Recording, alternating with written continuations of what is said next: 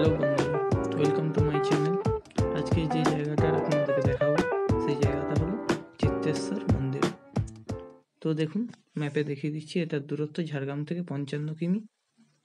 তো আপনারা ঝাড়গ্রাম থেকে যদি যেতে যেতে চান এই জায়গাটা, তাহলে প্রথমে লদাসুলি লদাসুলি থেকে ন্যাশনাল হাইওয়ে ধরে সোজা একদম বড়াগড়া। বড়াগড়া থেকে মাত্র বারো কিমি ভিতরে এই মন্দির।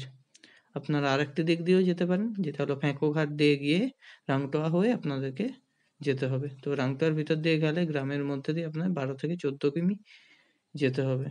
তারপরেই এই মন্দিরটি পাবেন। তো এই মন্দিরটি যেটা রয়েছে, এটা একটা শিবের মন্দির। যেটা হচ্ছে আমাদের যে তিনটি রাজ্য রয়েছে, উড়িষ্যা, পশ্চিমবঙ্গ এবং ঝাড়খণ্ড। এই তিনটি রাজ্যের একদম বর্ডারে পড়ে। তাই প্রত্যেক বছর এই জায়গাটায় এই তিনটি রাজ্য থেকে প্রচুর মানুষের আনাগোনা হয় শিব চতুর্দশী এবং শিবরাত্রির সময়। তো এই জায়গাটার নিয়ারেস্ট যে আপনার রেলওয়ে স্টেশন চাকুলিয়া রয়েছে।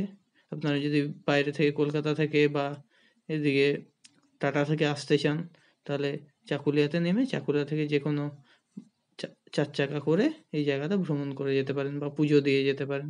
তো এখানকার যে কথিত আছে যে এই যে মন্দিরটা রয়েছে, এই মন্দিরটা প্রায় তিন হাজার বছরের পুরনো মন্দির। প্রথমে এই জায়গাটা বিহারের মধ্যে পড়তো। পরে যখন বিহার, ঝাড়খণ্ড ভাগাভাগি হয়ে গেল, তখন এটা এখন ঝাড়খণ্ডের মধ্যে পড়ে। তো আমরা একদম ভিতরের দিকে ঢুকে গেছি।